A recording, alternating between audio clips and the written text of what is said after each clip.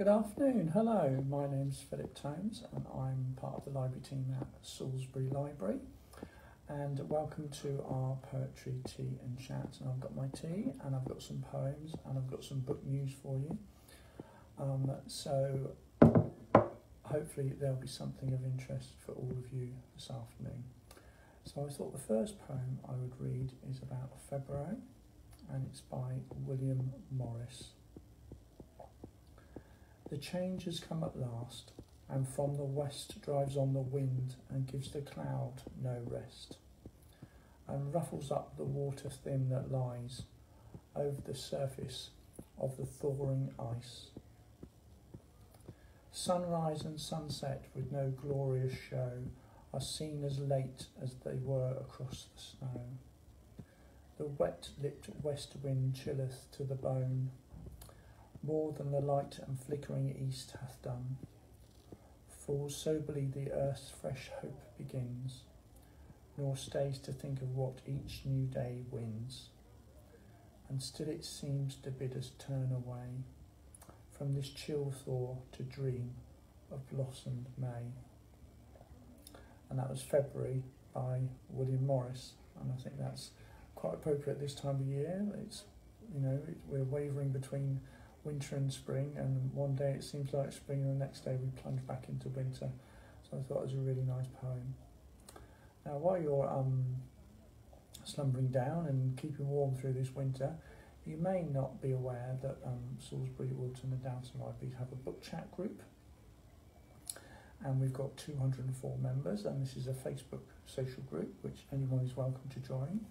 We discuss uh, lots of different books, and we also uh, look at libraries and books knowledge in general and bookshops. And at the moment on the book chat group, there are reviews for Michael Rosen's Going Better, and also a review for Never Shaken, Never Stirred, the story of Anne Fleming, and Laura, Duchess of Marlborough by Christopher Reinfeldt. There's also um, a review of a bookshop that one of the members went to in Lyme Regis called the Sanctuary Bookshop and from time to time there's lovely photos of different libraries from around the world and different books that people, uh, appeal to people or different themes. So that's the Salisbury Wilton and Downton Library book chat group. Um, it's um, on Facebook and if you want to join uh, you'd be most welcome.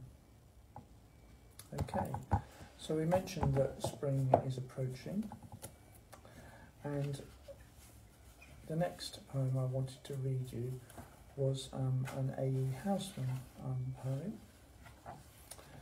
and it really talks about um, the brevity of spring and how we need to make the most of it. And I think um, if ever you're feeling, you know, oh, should I go out and I look at this and whatever, I think this poem might rouse you to action. So this is A. Housman, The Loveliest of Trees, the Cherry Now. Loveliest of trees, the cherry now, is hung with bloom along the bough, and stands about the woodland ride, wearing white for Eastertide. Now of my three score, years and ten, twenty will not come again, and take from seventy springs a score, it only leaves me fifty more.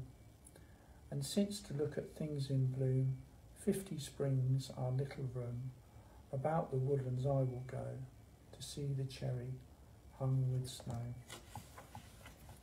So I don't know about you, but I think if you um, you know, you think about should I get up in the morning and go out for a walk, um, that's the sort of thing that would get me up and running and looking at the spring. So that was um, uh, the loveliest of trees, the cherry, now by A. E. Housman.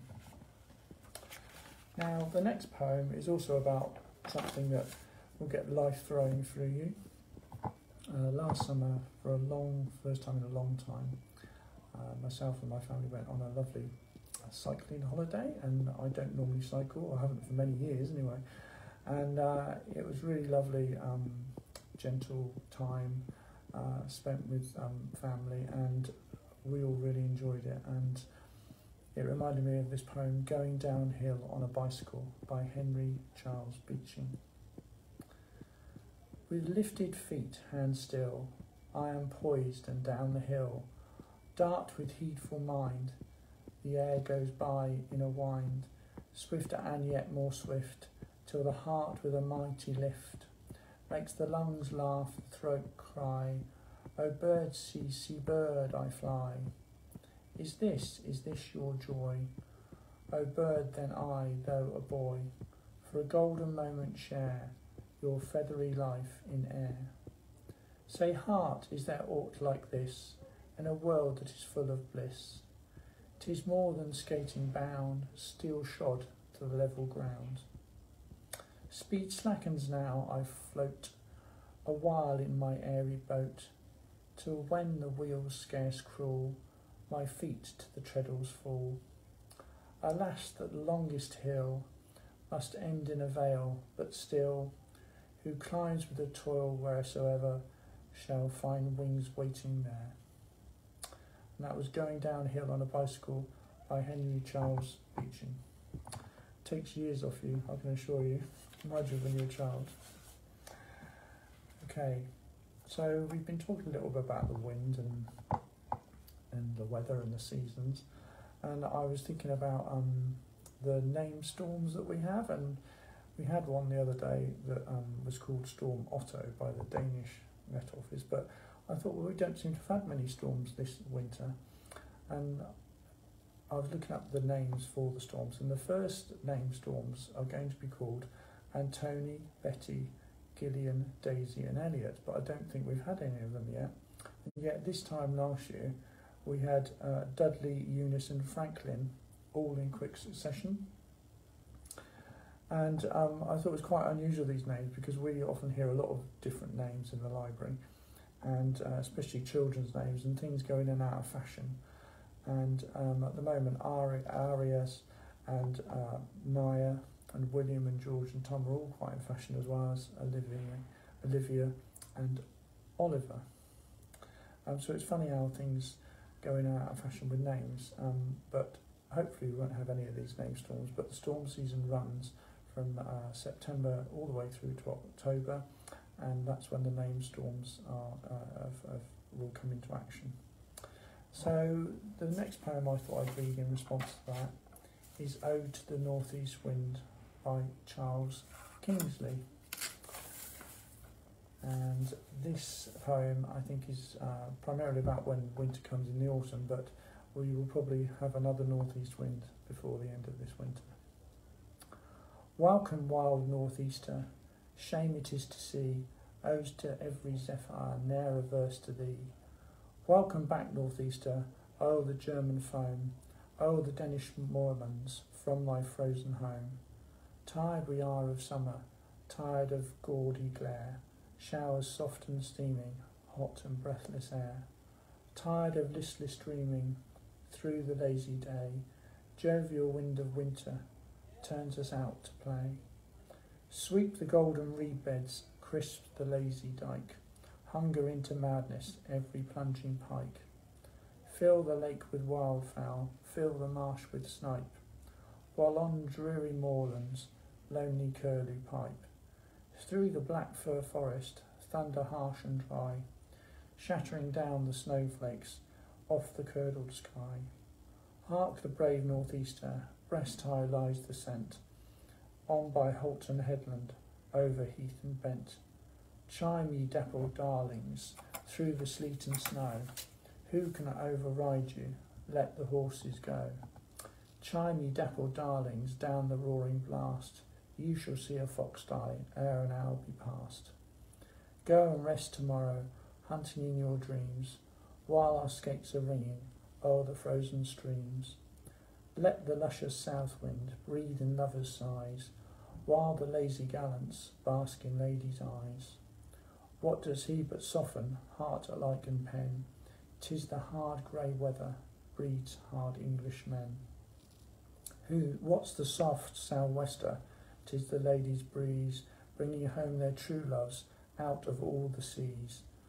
But the black northeaster, through the snowstorm hurled, drives our English hearts of oak seaward round the world. Come as came our fathers, heralded by thee, conquering from the eastward, lords by land and sea. Come and strong within us, stir the Viking's blood, bracing brain and sinew, blow, thou wind of God. So that was Ode to the Northeast Wind by Charles Kingsley, and that was written in 1854.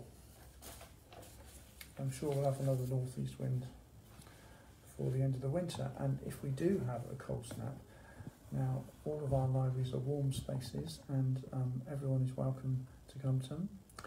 Uh, sometimes we will have uh, tea and coffee on offer, especially if we're having special events. So at Salisbury Library, we have a games club, and they meet on a Friday afternoon, and we also have a book chat uh, group who um, meet on a Wednesday afternoon, and we'll be having tea and coffee at both of those. And on the first Tuesday in the month, we also have our reading groups in the morning and the evening. And at the morning one, we have tea and coffee. And you might have heard about our warm packs, and I'll just show you our warm packs. So if you haven't had one, you can pick up a warm pack, and you get a blanket like that, nice little blanket, and you get a hot water bottle. That's lovely, isn't it?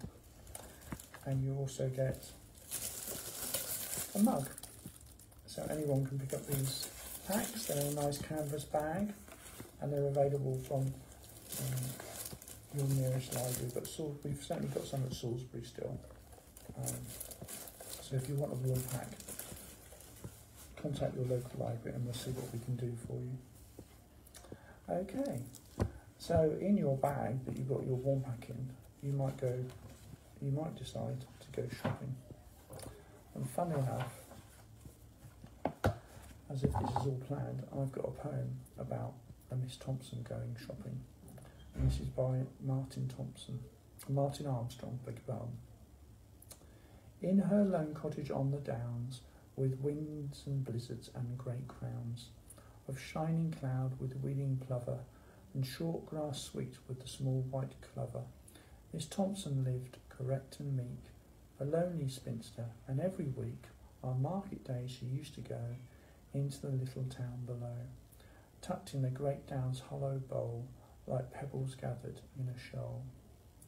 So, having washed her plates and cup, and banked the kitchen fire up, Miss Thompson slipped upstairs and dressed, and put on her black, her second best. The bonnet trimmed with rusty plush, peeped in the glass with simpering blush, from Camphor smelling cupboard took her thicket jacket off the hook. Because the day might turn to cold, then ready slipped downstairs and rolled the hearthrug back, then searched about and found her basket and ventured out. Snecked the door and paused to lock it and plunged the key in some deep pocket. Then as she tripped demurely down the sweet steep descent, the little town spread wider till its sprawling streets enclosed her and her footfalls beat on hard stone pavement, and she felt those throbbing ecstasies that melt through heart and mind as happy and free. Her small prim personality merged into the seething strife of auction marts and city life. That's just the first bit of that poem, and if you follow it on, you'll find out what Miss Thompson really likes to get from the shops. And that poem always reminds me of um, uh, amazing column with a statue on top at Bremhill in North Wiltshire near Calne um, that commemorates uh, Lady Maud and her causeway that goes across to Chippenham.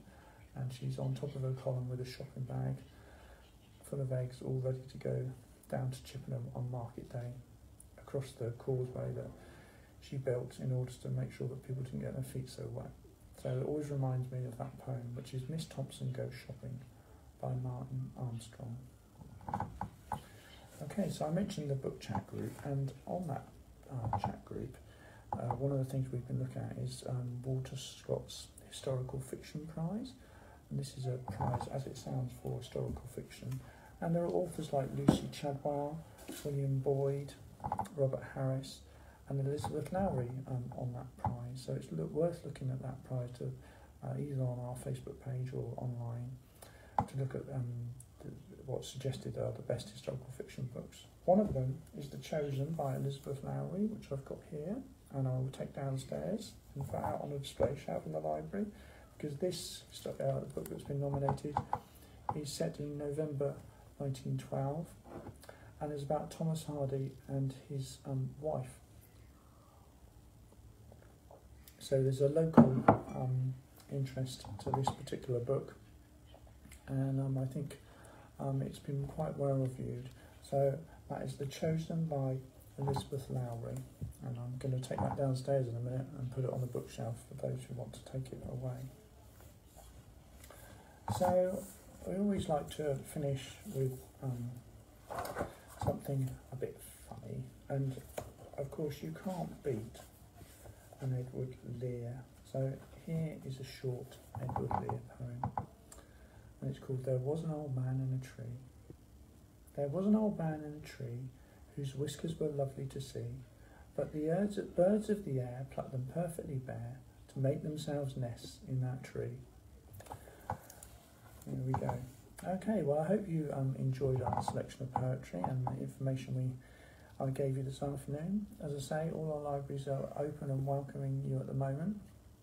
And if you just want to pop in, sit down, uh, read the paper, have a go on the computer, or just come and have a chat with any of us in any of our libraries, we'll be happy to see you. You don't have to have a reason, just take time out from your shopping or have a rest or just come into town and have a chat and if you feel a bit, a bit of need of company and um, to warm up.